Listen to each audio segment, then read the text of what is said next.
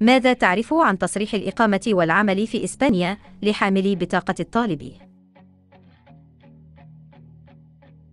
اليوم سنتكلم عن كيفية الحصول على تصريح العمل لحاملي تصريح الإقامة للدراسة في إسبانيا. حسناً، ماذا تعرف عن تصريح الإقامة والعمل في إسبانيا لحاملي بطاقة الطالب؟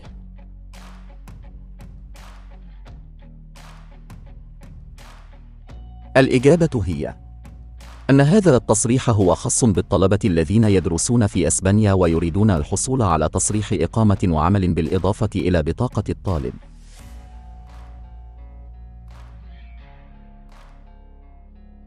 في نظرك من يمكنه بدء الإجراء؟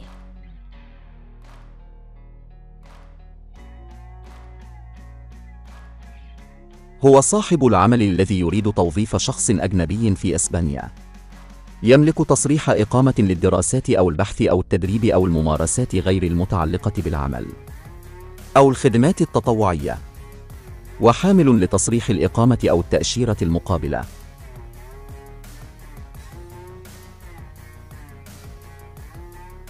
وبالنسبة للشخص الأجنبي الذي تريد توظيفه.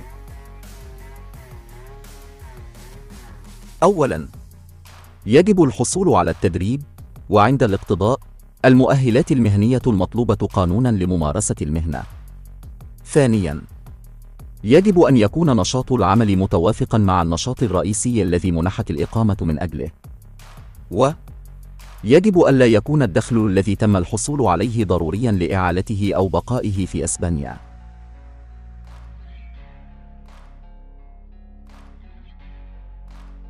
فيما يخص الشركة الطالبة ماذا يجب أن تقدمه؟